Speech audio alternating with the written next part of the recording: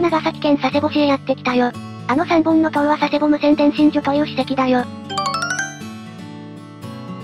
田畑の中にそびえる3本の塔が佐世保無線電信所だよ。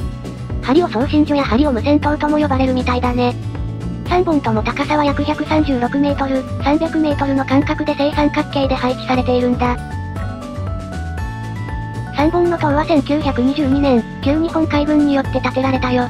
4年の歳月と250億円ほどの費用がかけられた。何をするためのものかというと、中国大陸や東南アジアに進出する部隊や艦船に調波を送信するものだよ。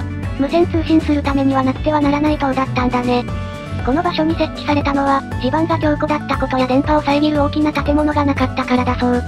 戦後には海上保安庁が管理し、2013年3月に国重要文化財に登録、他にも日本遺産鎮守府横須賀呉佐世保舞鶴日本近代化の躍動を体感できる街というテーマの構成施設の一つになっているよ。海上保安庁の管理っていうから、近くまで寄れないと思ってたら普通に見学できるみたいだ。見学できないと思い込んでいたから、ウプ主は見学していないよ。絶望すぎて泣きたい。島内部には設備の痕跡が残されているようだよ。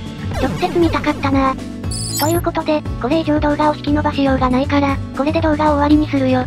レンタカーがないとアクセスがかなり厳しい場所なので、行こうと思った人は気をつけてね。